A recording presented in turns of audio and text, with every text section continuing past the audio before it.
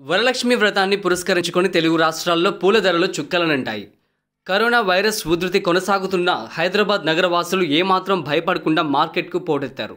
దాంతో పూల ధరలు అమాంతం పెరిగిపోయాయి. శ్రావణ శుక్రవారం అందులోనూ వరలక్ష్మి వ్రతం కావడంతో ఇళ్ళలో ప్రత్యేక పూజలు ఇతర వ్రతాలను నిర్వహించుకోవడం ఆనవాయితీ. ఆ క్రమంలో మార్కెట్కు వెళ్ళిన నగరవాసులకు ఆయా ధరలు చూసి ఒక్కసారిగా మూర్చపోయినంత పనైంది. ముఖ్యంగా నగరంలోని రాజీవ్ గాంధీ హోల్సేల్ పూల మార్కెట్లో కిలో కనకాంబరాలు వెయ్యి రూపాయలు పలుకగా రెండు రోజుల క్రితం అవే పూలు కేవలం ఐదు వందల రూపాయలు మాత్రమే పలికింది. వరలక్ష్మి వ్రతాన్ని పురస్కరించుకొని కనకాంబరం ధర ఐదు రెట్లు పెరిగింది.